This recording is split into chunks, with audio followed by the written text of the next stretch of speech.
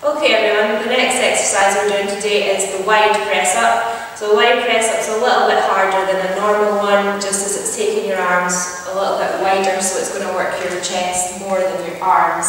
So to start off with, you want to put your hands, a hand um, width wider than shoulder, making sure that your shoulders are still in line with your wrists. And then you're going to take your toes up off the floor, making sure that your back's nice and straight. So from there, all you're going to do is drop your chest down to the floor while keeping your core nice and tight.